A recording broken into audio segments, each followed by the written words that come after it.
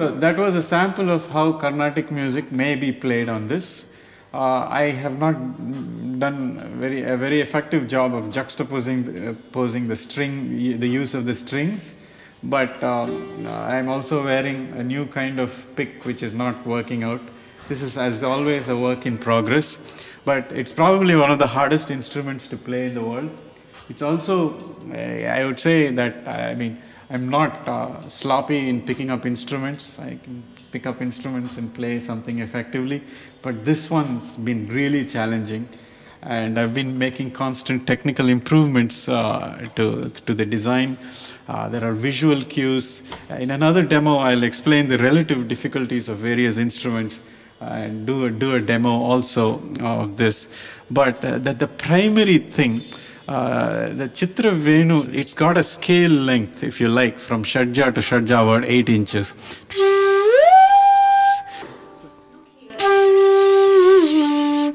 So uh, it's, as I said, the scale length is, uh, is extremely short. So the Chitra uh, Venu is not just a, a, wind version of Chitra Veena.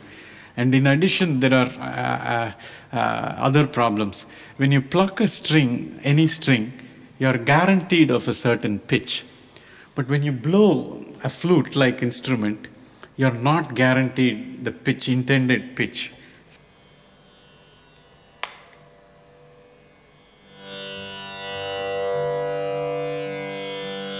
So, when I blow this,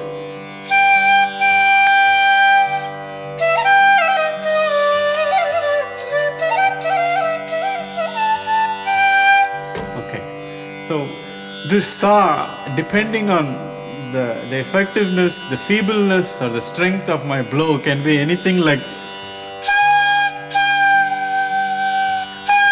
so I can play or both are wrong. So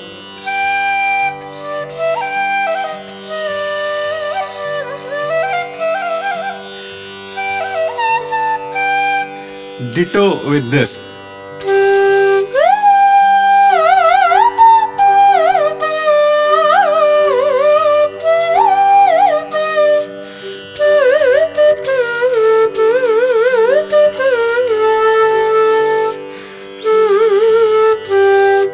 That doesn't come very easily.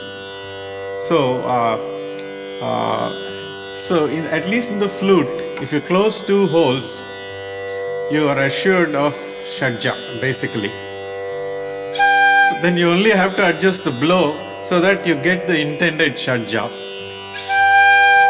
Here, the position is amorphous, just like your sliding instrument, lap slide, guitar or chitravina. But at least when you pluck, you, are not worried. I mean, you can pluck hard, soft, but you, you get your intended pitch. So here we are managing like a tightrope walk, two levels of variables. So it is, it is more difficult at three levels.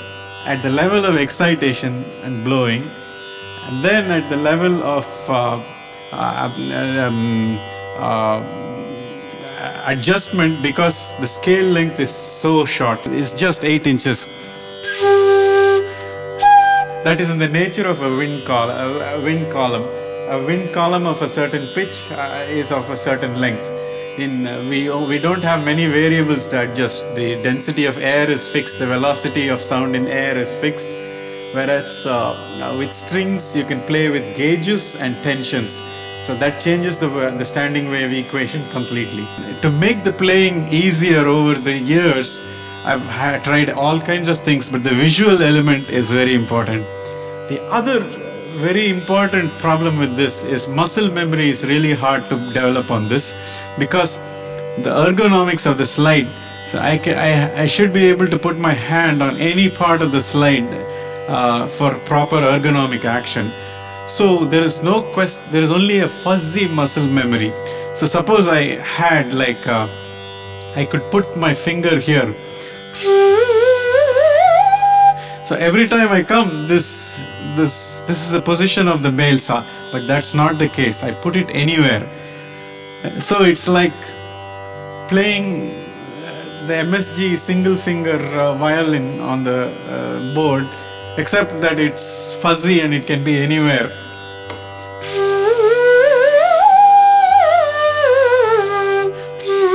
See, I change my finger position so then into a different position. So it has to be, and I experimented with trying to have single finger position to develop muscle, but it's not effective because the shoulder movement. And any more complex mechanism removes the simplicity out of the instrument. So that's it. So, but is all this possible? Yes, I believe I'm demonstrating that something is possible to come out of this.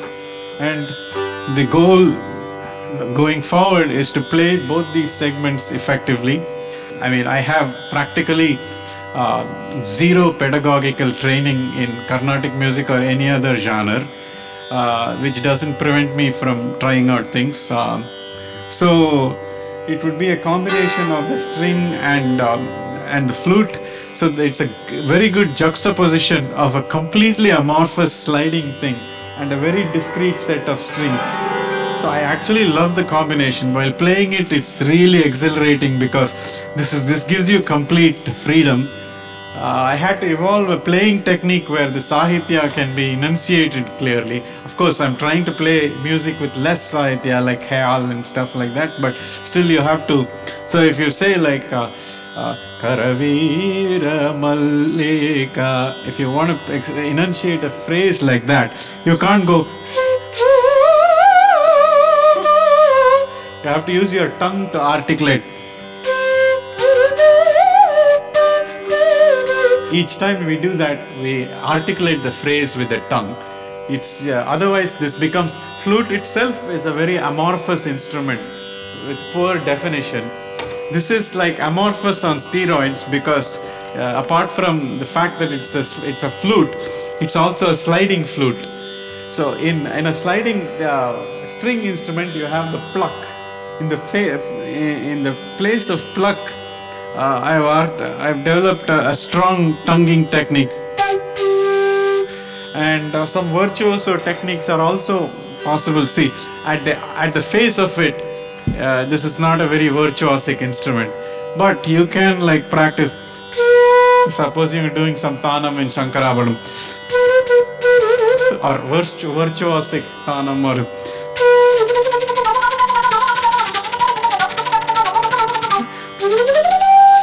who would have thought that was possible? Sarigama Padanisa no, on a sliding instrument. So you basically calibrate the velocity of the slide and cut the notes with your tongue as they come along.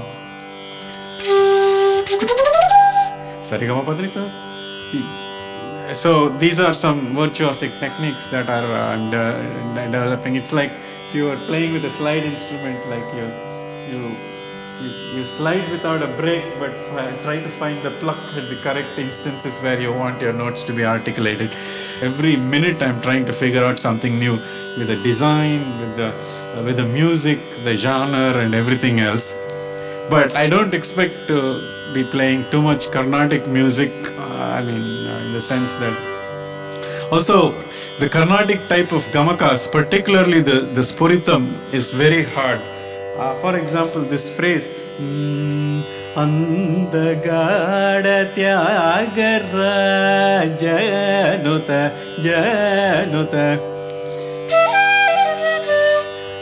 You have to practice real.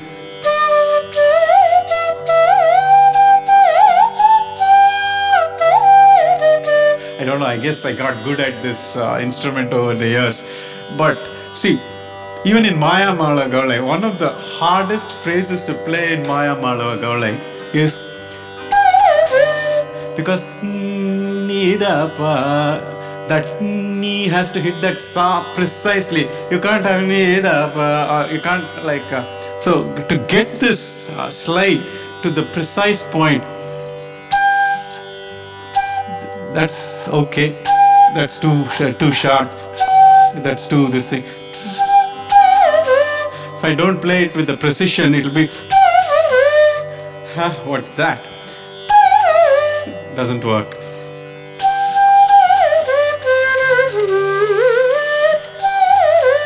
So you have to modulate your breath so that so that you sync with the Shruti. So this is not for the, this instrument is definitely not for the faint of Shruti. At some future demo, I'll also talk about the tuning systems and various things that can be used here. This is the this is the box with which the 22 strings should be demonstrated and at some time I'll do that too. Uh, but thanks for watching. If you got this far, thanks for watching and watch this space. Thank you.